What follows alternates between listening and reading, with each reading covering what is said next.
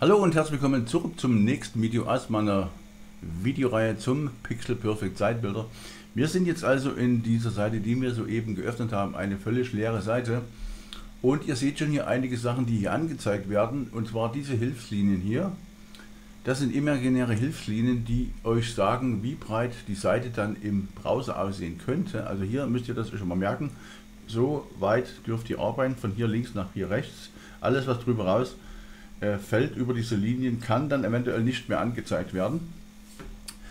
Da wird auch dieser Button zum Einsatz kommen, denn ihr könnt jetzt eure Seite zum Beispiel etwas verbreitern in der Aufmachung. Ihr könnt sozusagen eure, euer Design auf 1240 verbreitern. Hier, ihr seht das gerade, ist etwas breiter geworden.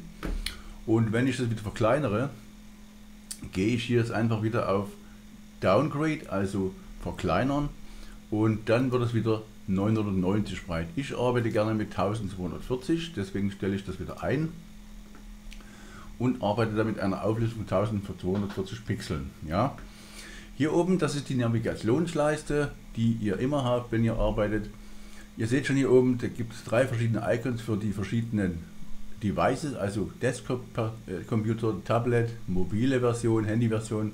Hier könnt ihr, wie gesagt, die äh, Größe ändern auf die Bildschirmgröße, die ihr haben möchtet. Dann gibt es hier das, dieses Licht hier, dieses Fontslichter, also dieses Licht hier.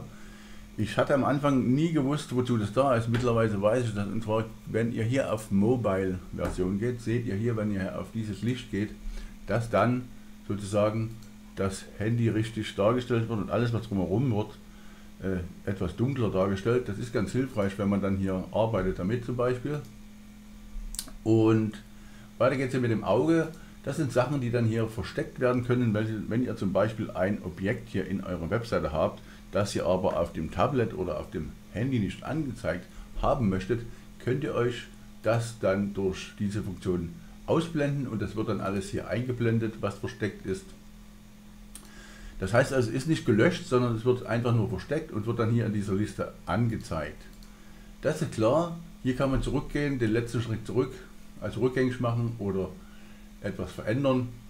Das Lineal wird hier angezeigt, hier oben. Hier kann man Hilfslinien einbauen. Also ihr seht schon, bei der Handy-Version war gerade eine blaue Hilfslinie drin. Ich zeige schon mal, wie das aussieht auf dem Desktop. Wenn ihr zum Beispiel hier eine Hilfslinie einbaut, weil ihr euch sagt, okay, ich möchte hier bei 50 anfangen und möchte dann bei, das ist der 1240 breit, also es ist das dann 50 weniger, 1190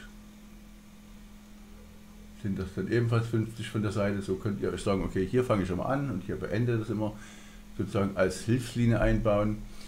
Die Hilfslinien erstellt man, indem man einfach hier auf das Lineal klickt und dann werden die angezeigt. Die kann man dann auch verschieben oder auch horizontal hier einbauen. Die kann man ebenfalls verschieben. Und wenn ihr die wieder weg haben möchtet, klickt ihr einfach dann mit der rechten Maustaste auf diesen Punkt hier, ebenfalls hier oben, immer auf die Punkte klicken und dann gehen die Hilfslinien automatisch weg. Das ist die Vorschau für die Seite. Hier könnt ihr euch die Vorschau eurer Seite schon anschauen, wenn ihr die noch nicht veröffentlichen wollt, die Seite. Und hier habt ihr den Button zum Speichern. Dieses Panel lasse ich mit Absicht mal weg, weil ich bisher noch nie damit gearbeitet habe. Das ist aber wohl auch nicht notwendig unbedingt. Deswegen ist Speichern hier der letzte Punkt, den ich jetzt ansprechen möchte. Ansonsten ist das eigentlich schon alles. Hier oben seht ihr dann noch eine Auswahl und zwar ist das dann die Auswahl der jeweiligen Seiten, die ihr erstellt habt. Wenn ihr also 10 Seiten erstellt habt, werdet ihr hier alle 10 Seiten angezeigt bekommen und unter diesen Seiten könnt ihr dann jeweils die Ansicht wechseln und dann an den entsprechenden Seiten weiterarbeiten. Das Lineal habe ich schon erklärt. Jetzt werde ich mal die Hilfslinie mit einbauen, die ich vorher wieder ausgeschaltet hatte. Und wie gesagt, das ist eine Möglichkeit dann zu sehen, wie weit ihr hier arbeiten könnt, um euren Content hier einzubauen auf die Webseite. Was ihr hier oben noch seht, ist diese Kopfzeile und diese Fußzeile hier unten, das graue. Das ist also der Header, die Kopfzeile und hier unten, das ist der Footer, die Fußzeile. Meistens wird oben in der Kopfzeile das Menü unten eingebaut oder Kontaktinformationen zum Beispiel. Navigation und so weiter und so fort.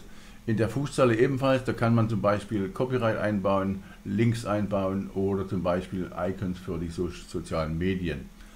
Das ist eigentlich schon alles zur Übersicht von dem Pixel Perfect Zeitbilder.